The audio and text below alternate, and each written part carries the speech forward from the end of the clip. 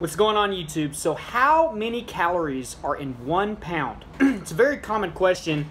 Um, I actually didn't know this and I kind of wanted to know, you know, for myself. So I went online, did a little bit of research and almost every single one of the places I found explained that it was roughly, you know, 3,500 calories.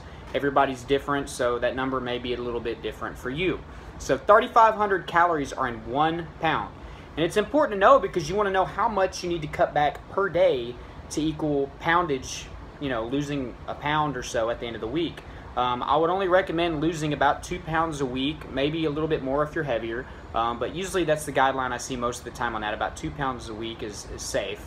Uh, so you're talking about if you want to lose one pound, for instance, you need to cut back 500 calories a day. 500 times 7 is 3,500 calories for one pound. So if you want to lose two pounds, you might want to cut back on around you know 800 to 1,200 calories, somewhere around in there.